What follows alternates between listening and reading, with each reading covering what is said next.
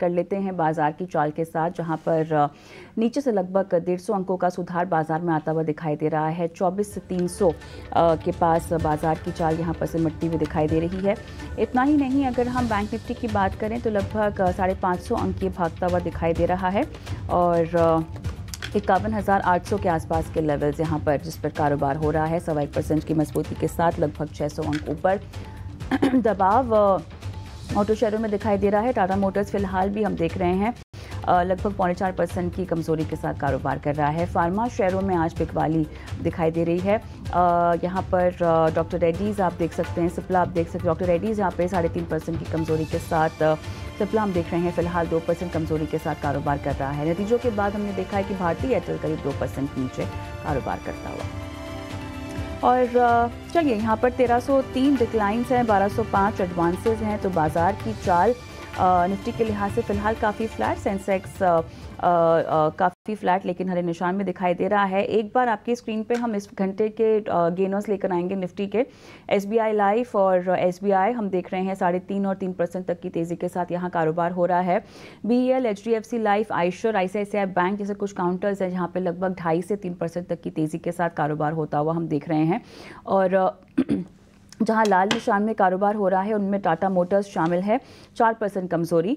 Doctor Reddy साढ़े तीन percent, hero मोटो ढाई परसेंट, बजाज ऑटो ढाई परसेंट इंडसिंग सिप्ला दो परसेंट की कमज़ोरी के साथ यहाँ पर कारोबार होता हुआ दिखाई दे रहा है।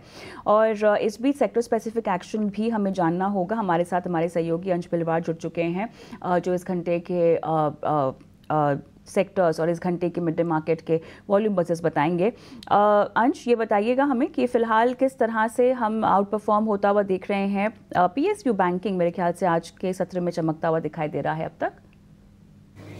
जी, बिल्कुल बेस्ट परफॉर्मिंग सेक्टर की बात करें तो यहाँ पे पीएसयू बैंक इंडेक्स नज़र आ रहा है। काफ़ी अच्छे गेन के साथ ट्रेड कर रहा है। दरअसल पी बैंक इंडेक्स इसका अगर चार्ट भी देखा जाए ना तो पी बैंक का इंडेक्स अपने वन वीक हाई पर ट्रेड कर रहा है और एक अच्छा कुछ चार पाँच सेशन से कंसोलिडेट कर रहा था, वहाँ से ब्रेकआउट देके ऊपर जाता हुआ नज़र आ रहा है इंडेक्स अगर इसमें हम स्टॉक्स भी देखें तो यहाँ पर सबसे पहले तो इंडियन बैंक नज़र आता है।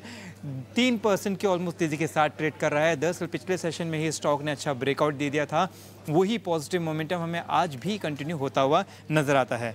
एसबीआई की बात करें तो एसबीआई ने चार सेशन की कंसोलिडेशन से ब्रेकआउट दिया। ये भी करीबन तीन परसेंट की गेन के साथ ट्रेड करता हुआ नज़र आ रहा है। बैंक ऑफ़ महाराष्ट्र भी गेनर्स में है, लेकिन अगर इसका चार्ट देखें तो स्टॉक कुछ चार पाँच सेशन से कंसोलिडेशन में फंसा हुआ है। 51 के ऊपर जाएगा तो एक अच्छा ब्रेकआउट एक अच्छा पॉजिटिव मोमेंटम बनता हुआ नज़र आ सकता है। अब अगर वर्स्ट परफॉर्मिंग सेक्टर की बात करें तो यहाँ पे हमें निफ्टी ऑटो इंडेक्स नज़र आता है, जिसने कि चार महीने के निचले स्तर को भी छुआ है। साथ ही साथ अगर इसका चार्ट देखें तो भले ही वर्स्ट परफॉर्मिंग सेक्टर में है, लेकिन आज का जो लो है वो टू हंड्रेड पर है, जो कि काफ़ी अच्छा पॉजिटिव माना जाता है तो यहाँ पर गिरने के बाद थोड़ा सा शायद अपॉर्चुनिटी देखी जा सकती है। इस लिस्ट में देखें तो लूजर्स में हमें Tata Motors Hero MotoCorp Bajaj auto जैसे स्टॉक नज़र आ रहे हैं, जो दो से चार परसेंट की गिरावट के साथ ट्रेड कर रहे हैं। अब अगर स्टॉक स्पेसिफिक बात करें तो स्ट्रॉन्ग वॉल्यूम्स की लिस्ट में हमें यहाँ पे डॉक्टर रेडी नज़र आता है टाटा मोटर्स और इंडियन ऑयल जैसे इंडियन बैंक जैसे स्टॉक्स नज़र आते हैं। डॉक्टर रेडी और टाटा मोटर्स में ज़्यादा बिकवाली हो रही है, भारी वॉल्यूम के साथ तो यहाँ पे इन्वेस्टर्स का सेंटिमेंट काफ़ी बेयरिश होता हुआ नज़र नज़र आता है। जबकि इंडियन बैंक की बात करें तो यहाँ पर अच्छी तेज़ी नज़र आ रही है, अच्छे वॉल्यूम के साथ। तो यहाँ पे काफ़ी सारे इन्वेस्टर्स अच्छे वॉल्यूम के साथ घुसते हुए नज़र आ रहे हैं।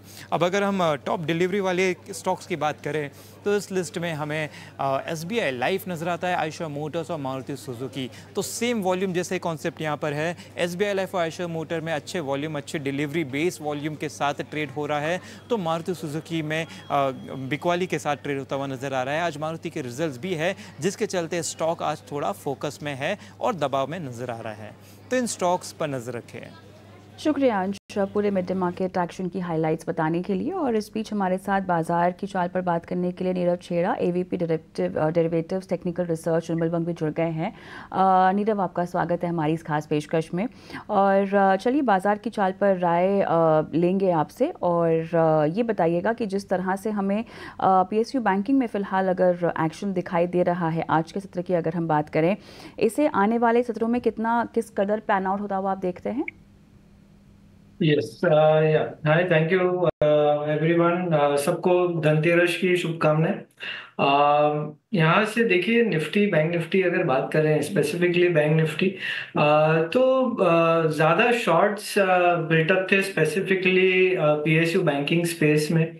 और वही अभी लग रहा है, यू नो कि शॉर्ट्स कट रहे हैं वहाँ से। तो likes of S B I bank of Baroda Canara bank ये सब अभी लग रहे हैं कि यहाँ से अच्छा चल सकते हैं गोइंग फॉरवर्ड क्योंकि काफ़ी समय से यू नो साइडवेज से थोड़े स्टॉक्स में सेलिंग आ रहा था। लास्ट दो महीने में अंडर परफॉर्मिंग थे। अब जाके यहाँ से एक रिवर्सल इन प्लेस है। बढ़िया रिवर्सल चार्ट्स बने हैं specifically in S B I Canara bank and bank of Baroda I believe यहाँ से uh, ये तीनों लीड करेंगे rally in the P S U banking space और at least five seven percent upside दिखा सकते हैं in the next two to three trading sessions तो यहाँ से ये तीन स्टॉक आप बाइंग कर सकते हैं with two percent stop loss right इस बीच uh, बाज़ार के लिए अब क्या दायरा आपके मुताबिक? यस तो देखिए, बाज़ार में निफ्टी में अगर देखें तो twenty four one hundred prove to be a good support area and यही सपोर्ट दो तीन महीने पहले निफ्टी ने लिया था और वहाँ से अच्छा बाउंस खाया था। वहाँ से छब्बीस हज़ार तक गया। तो this is a strong support area और बढ़िया सपोर्ट लेके बाउंस खाया है निफ्टी ने। चांसेस है अब यहाँ से 50 डे मूविंग एवरेज तक निफ्टी जा सकती है जो कि करीब करीब 25,180 के पास में है फ्यूचर में तो वो लेवल्स तक प्रॉब्ली फ्यूचर बाउंस कर सकता है। बट नियर टर्म में 24,500 एक रेजिस्टेंस एरिया रहेगा वो जैसे ही पार करते हैं अग्रेशन ऑफ़ बाइंग आप देखेंगे और बढ़ जाएगा और वहाँ से एक अच्छा बड़ा मूव आ सकता है। So at this point of time current level से बाइंग करें सारे ही जो इंडिकेटर्स हैं ओवर सोल्ड जोन में है और वहाँ से घूम रहे हैं ऊपर की तरफ़ जो कि एक बहुत बढ़िया साइन है। तो यहाँ से बाइंग करें, नीचे में ट्वेंटी फोर वन हंड्रेड आपका स्टॉप लॉस रहेगा। ट्वेंटी फाइव थाउज़ेंड तक के आपको टारगेट्स नज़र आ सकते हैं आने वाले थोड़े दिनों में। Near term twenty four five hundred is your first target in the next couple of days bank Nifty में फिफ्टी थाउज़ेंड फाइव हंड्रेड से बहुत बढ़िया बाउंस खाया है। This is the third time ये बाउंस खाया है पिछले दो महीनों में बैंक निफ्टी ने। हालाँकि इंडेक्स बैंक निफ्टी इंडेक्स ज़्यादा गिरा नहीं था, जबकि स्टॉक्स थोड़े गिरे थे नो डाउट पर बैंक निफ्टी इंडेक्स ज़्यादा गिरा नहीं था तो ये लेवल से थर्ड टाइम सपोर्ट आना बहुत बढ़िया साइन है। This becomes a rock bottom support area for bank Nifty and for longs और uh, मेरे हिसाब से यहाँ से एक अच्छी बाइंग uh, देखी जा सकती है। 50 डे मूविंग एवरेज भी तोड़ा है बैंक निफ्टी ने। अब जो अगला लेवल है 50 टू 800 का वहाँ तक एटलीस्ट uh, ये बाइंग सस्टेन हो सकती है ऐसा दिख रहा है। तो बैंक निफ्टी आप ज़रूर बाय करिएगा with stop loss of fifty one four hundred और। को आगे बढ़ाएँगे। मांग में कमी के चलते ऑटो शेयरों में गिरावट देखी जा रही है। यहाँ तक कि दिवाली में भी गाड़ियों की बिक्री कम है। ऑटो शेयरों में गिरावट के और क्या कारण है, बता रहे हैं हमारे सहयोगी अभिषेक सत्यव्रतम।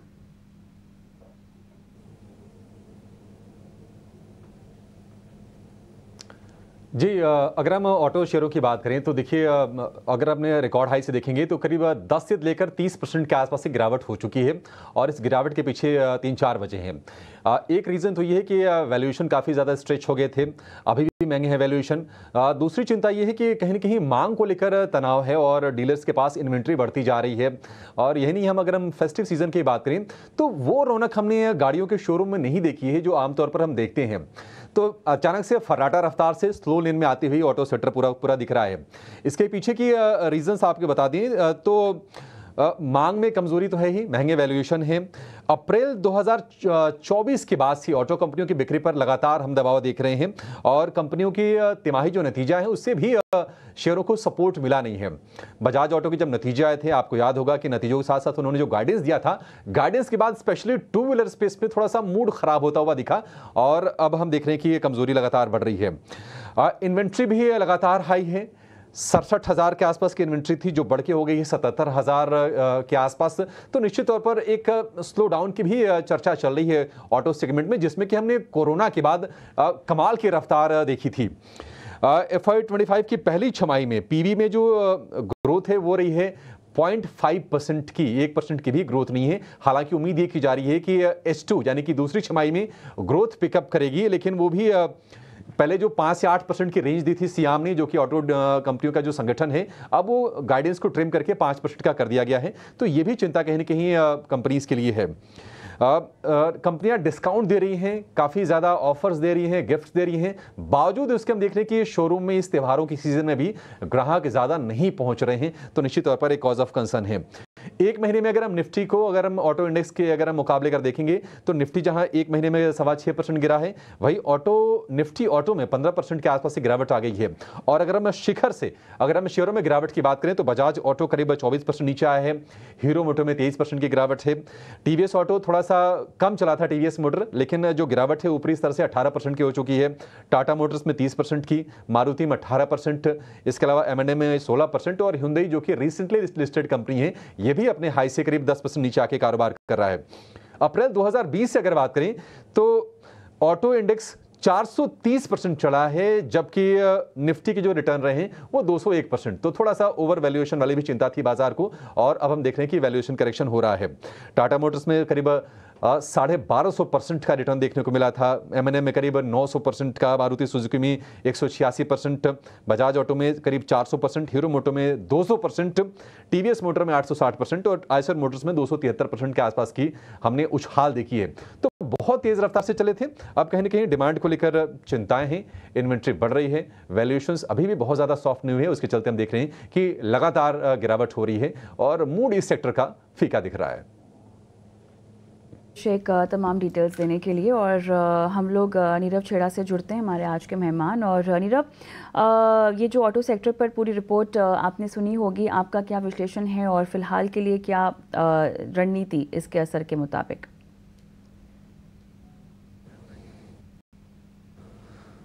अवॉइड करिए। ऑटो सेक्टर बहुत सारे स्टॉक्स में एक टॉप काइंड ऑफ़ फॉर्मेशन बन चुकी है और ब्रेकडाउन आ चुका है। तो आई वुड सजेस्ट कि यहाँ से आप एटलीस्ट करंट लेवल से बाइंग ना करें। Uh, थोड़ा डाउन साइड आ सकता है। Stocks like Hero Motor Tata Motor M N M Bajaj auto इन स्टॉक्स में इवन uh, मारुति इन स्टॉक्स में ब्रेकडाउन आया है। Probably another you know ten percent का फॉल आ सकता है। तो आई वुड जस्ट सजेस्ट कि थोड़ा वेट करें, वो फॉल को प्ले आउट होने दीजिए। ये जो प्ले आउट होगा प्रॉबली और आठ दस दिन प्रॉबली फिफ्टीन डेज़ में प्ले आउट होना चाहिए। उसके बाद एक बाउंस एक्सपेक्टेड है। मगर तब तक के लिए you know wait and watch and नीचे में ही बाइंग करें not at current levels Nirav, इसी के साथ साथ हम देख रहे हैं कि मारुति के भी नंबर्स आ रहे हैं। फ़िलहाल केवल मुनाफे का ही आंकड़ा आता हुआ दिखाई दे रहा है, जो कि तीन हज़ार करोड़ के पार जाता हुआ दिखाई दे रहा है। आपने अपने लिए अपने नंबर्स पर क्या आकलन लगाया था? और वैसे तो फ़र्स्ट सेट ऑफ़ नंबर्स पूरी तरह से आए भी नहीं है बट क्या लगता है मुनाफे का आंकड़ा देखकर? नहीं फ्रैंकली स्पीकिंग वो फंडामेंटल एक्सपर्ट आपको ज़्यादा बेटर बता पाएँगे। एट दिस पॉइंट मैं सिर्फ़ टेक्निकली बेसिस पे चार्ट देख के बता पाऊँगा। uh, तो देखिए चार्ट नेगेटिव है जो मुनाफे की उम्मीद थी उससे थोड़े से नीचे यहाँ पर नंबर्स आ रहे हैं। बट फिर भी मारुति के नंबर्स पर हमारी नज़र है। कॉपरेट कनेक्शन को हमें यही समाप्त करना होगा।